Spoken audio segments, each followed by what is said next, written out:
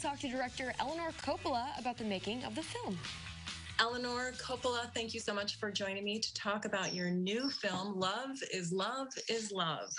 And I get a little choked up thinking about that final vignette where uh, Maya Kazan is celebrating the life of her mother who has passed uh, unexpectedly with all of these other friends sitting around a table for a luncheon.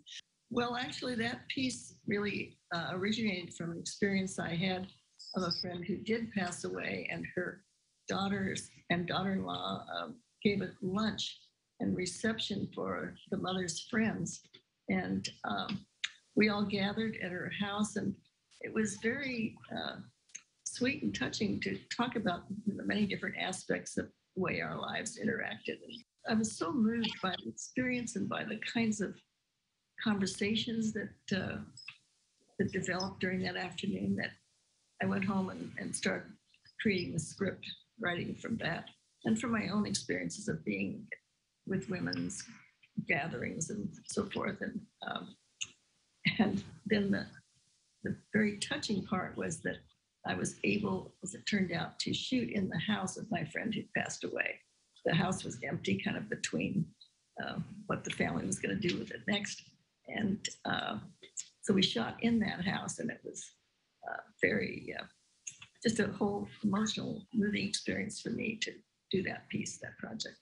Absolutely adds a, a whole nother level to it.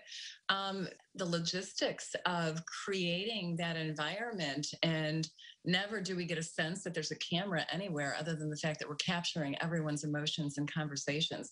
As a filmmaker, tell me about setting that up and creating that, to me, a very complicated situation. Well, it always reverts back to the cinematographer. I had this wonderful cinematographer I'd always wanted to work with, and he brought um, uh, another um, photographer.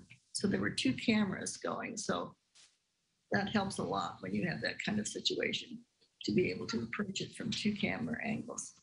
But the uh, outstanding feature I thought were the women like stayed at the table even if the camera wasn't on them. It was like they were like as if they were in a play. They Right. they supported each other in a kind of way that I think translates onto the screen of their connection and being present. You know, because usually when you're on one actor, the other actors get up and go. go Right.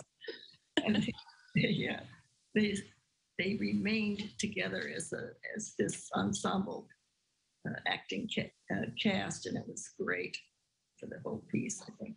Um, I have one final question for you. You said that documentary filmmaking was something that was a part of you. How did this, how did that style of filmmaking influence this fictional tale? Well, I think it um, makes me not a very good uh, director of fictional work because I'm always looking for the reality or what's real, or I could make a documentary about me making this more easily than actually making it in a certain sense. And the way I get around that is by gathering together really talented, experienced actors and really saying to them, you know, you know how to do your piece better than I do. And you're not going to be able to count on me as some strong director who's going to give you a lot of direction.